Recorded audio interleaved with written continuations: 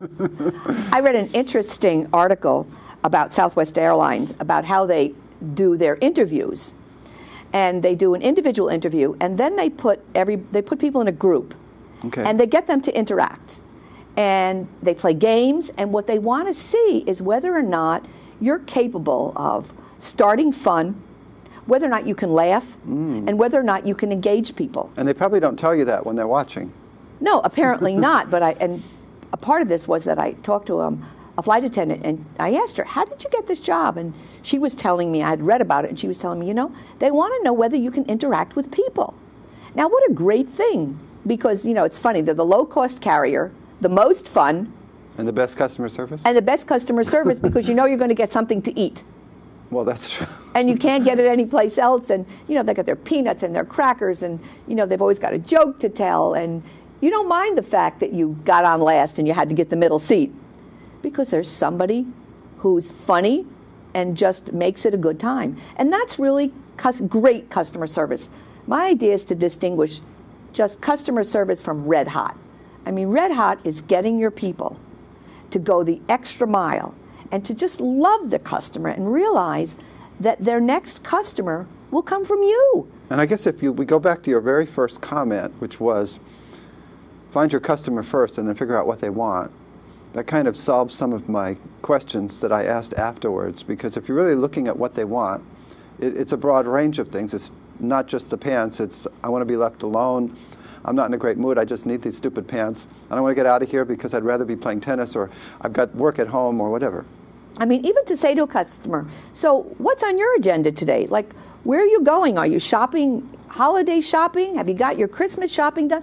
That's what's really going on with me, not have a nice day. Mm-hmm. And so if you humanize the interaction, that makes a difference. And we're very savvy as consumers and human beings. We've been shopping for years.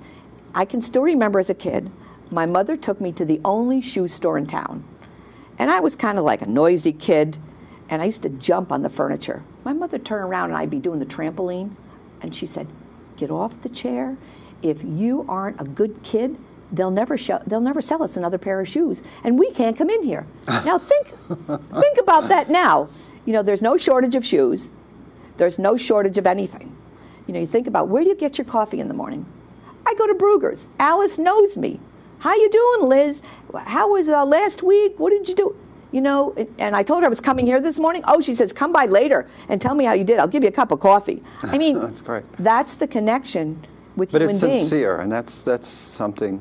Now, when I say that, I, I- I know you can't be sincere to 50 people in a row, in the sense that you care deeply about each and one of every one of them. Maybe you do in some way care about people, but there's this problem that we have. Let's say you're at a supermarket, and you're the cashier. There's six people in line. They're all waiting. I, that probably won't happen at some of our stores anymore. Okay, let's say there's two or three people in line, but they have a lot of groceries. And so it's just, we just have to wait. Well, every person they come up to, they have to say hello to. And you want them to be sincere, but you can't have them express their, their frustration either. So it's, it's really tricky trying to be sincere without overdoing it. Well, if I'm thinking about that, I, I volunteer at the uh, Honest Weight Food Co-op. Oh, beautiful. And I bag groceries. Uh-huh. And I do that just to get a sense of customer service. So when somebody comes through, I look at what they've got and I go, wow, what are you cooking with that? What, what is that vegetable there? I've never seen that. Now, a cashier could say that. A cashier could say, Are you having a party? Gee, that looks great. Oh, I love that pie you just brought. And oh, you know, I, I, those apples over there, I made the best applesauce. That takes one minute, and all it takes is for the, the salesperson to be observant of the customer. You know, you don't have to be a genius for that, but you do have to sort of be outside of yourself and realize that, first of all, not all customers are right. But if you want to customer, you've got to make them right. Simple as that. That's a good point. And so all it takes is, you know, you know, great colors you're wearing today, and women appreciate that. I mean, or what kind of perfume are you wearing? I'll never forget going in to buy furniture, and the salesman said to me, "Gee, that's great perfume you have on." And I thought, oh, okay, you know, what, what kind of sales trickery is this? Right. What, do you, And- what are they looking for? Yeah, and the next thing he said to me, you know, my wife would love that smell, and her birthday's coming up. Could you tell me what that is? Now I you're thought, disarmed. Now you're okay. oh, what a great. Now I thought to myself, if that's a piece of customer service, that's like the best that I've seen in a long time. Because there's the interaction, there's the connection, and then that whole thing about sort of a sexual comment is all gone. Right. And And that's, I guess that's what I was getting at. yes, You can't train parrots. You really need to train people uh, to be people, but they have to have these social skills. And, and sometimes that's the most difficult thing, isn't it? To, to, to develop, especially where you have a repetitive task, people come through quickly, and you, you're using high school, college students, and things like that.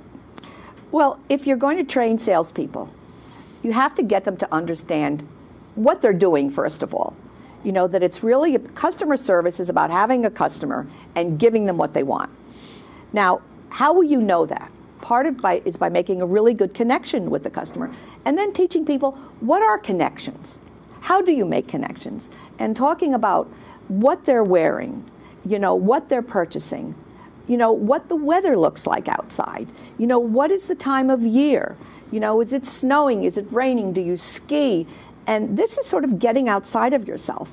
And some people are very good at that naturally, mm-hmm. and other people just need sort of like a script. They need to be able to look at somebody and say, okay, let's talk about what you see. What does that mean? How do you make a connection? And that's how you take, I think, a good salesperson and turn them into a great person who is who has power and influence with another human being. I think businesses often think what differentiates them is their products. Products don't differentiate you anymore. You, you and I spoke about that. If you can't find it in a store, you can go to eBay. So saying to a customer, I've only got one left, and if you don't buy it today, there'll never be another. I hate the time pressure. Ah, well, the only time that happens is when you line up at Best Buy at 3 o'clock in the morning on Black Friday. Other than that, you know that it'll be there again. You'll find it on eBay, It'll be 50% off. someplace. That was 40 years ago when we didn't have merchandise and things were expensive. Now it's all changed. Things are not expensive. There's plenty of merchandise. And we've probably all shopped. It's not like you don't know how to shop. It's not like you've never been to a supermarket. You know, we know how to shop. So it's important to understand the consumer knows that. She doesn't need you to drag her around by her arm. She'll ask you when she needs to know something. But in the meantime, you have to just be astute and understand that she is your connection to your next customer. So a phone call afterward is like number one. You know, I'm so excited that I met you, and I- hope you're happy with what you bought. Oh, I just love it. Great. You know, I'm gonna I'm gonna call you in a couple of months and see how it is. Particularly if you sell a big ticket item. Yeah, not, not for a can of beans, of course. No, course. not for you know, like how was the bread, but you bought the car. Right. So, and salespeople don't like to do that. And you know, not only salespeople, owners. They said, "Oh, no news is good news. They didn't call us. We're in good shape." Right, right. But the statistics say that 97% of consumers that are unhappy, Don't do anything. they never complain. Never. So let's just say you have a little survey you give out and it says, please rate us from 1 to 10. And you get all 10s and you say, well, that's good, and you put it away. No. You call the customer on the phone and you say, you know, that was a great survey. You said we got all 10s and we're excellent. But I'm wondering, Is there anything we could do better? is there something we could have done to be an 11? Because we don't want to be 10. Now that allows the customer to say to you, you know, There was this problem. there was this like little thing because most customers, like I said, don't want to complain. They don't want to hear from you either. And 97% never complain, they just go away. So if you think about that a non complaining customer, if you equate that with satisfied, you're in big trouble.